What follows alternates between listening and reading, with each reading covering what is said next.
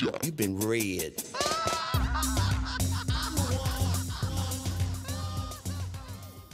Before we get to the story, please hit the subscribe button as well as the bell icon. It helps me out a lot. Also, check out my Instagram where you'll see pictures of my cosplay, my progress, as well as art not featured on here and is exclusive to Instagram.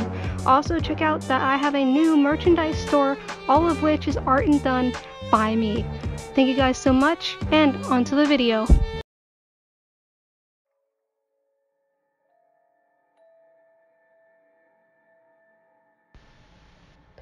I had to create another Facebook account because Wasabi kept making new accounts, trying to add me after he figured out on the accounts didn't simply crash and erase themselves.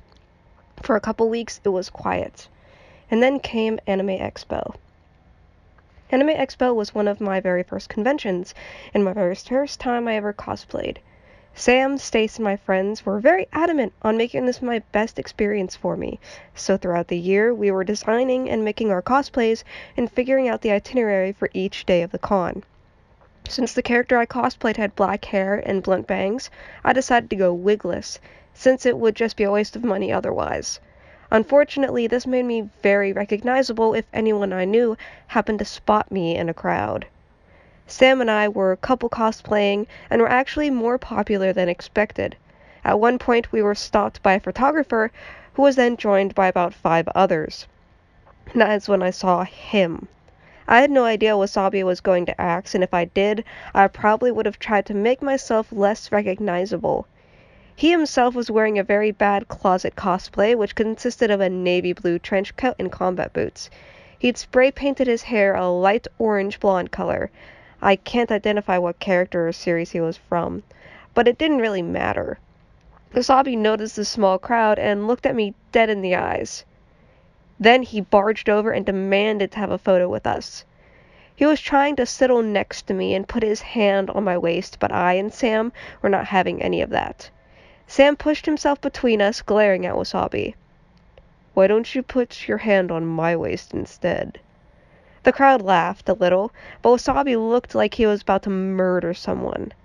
I think Wasabi was trying to hold back. After all, there was a small crowd, and we were in the middle of a busy hallway. But he didn't want to make a scene. I suppose a month of being ignored and or yelled at by everyone was enough to push him over the edge. After a few seconds, Wasabi threw down everything he was holding.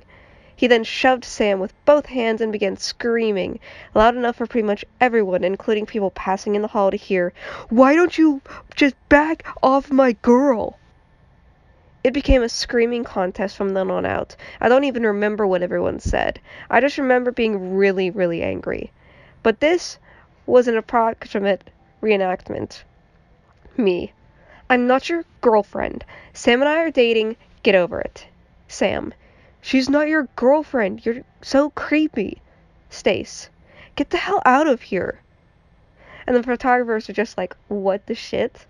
I don't think Wasabi expected all of us to rally on him. I had a feeling he was expecting a fight one on one with Sam, with me as a bystander. But I definitely was not going to be passive.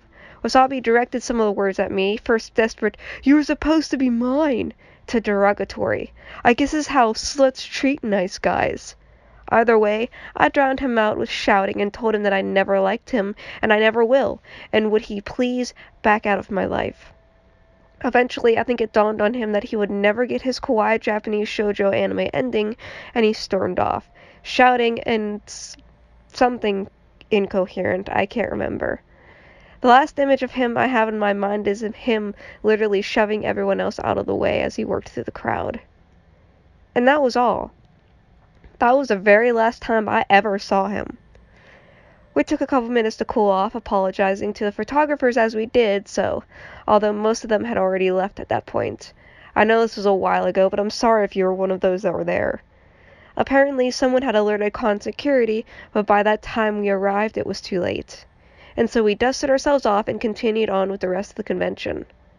For a couple of months following, I heard a few rumors about Wasabi here and there, but mostly about him harassing other Japanese girls in college. But after a year, people stopped talking about him. I removed all association from him and deleted the remainder of his ridiculous messages. He never tried contacting me again.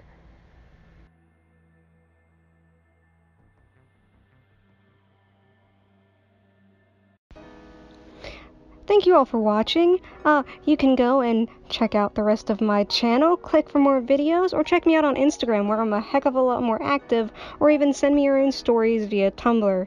Uh, thank you guys for watching, as I said before, and I'll see you later. Bye!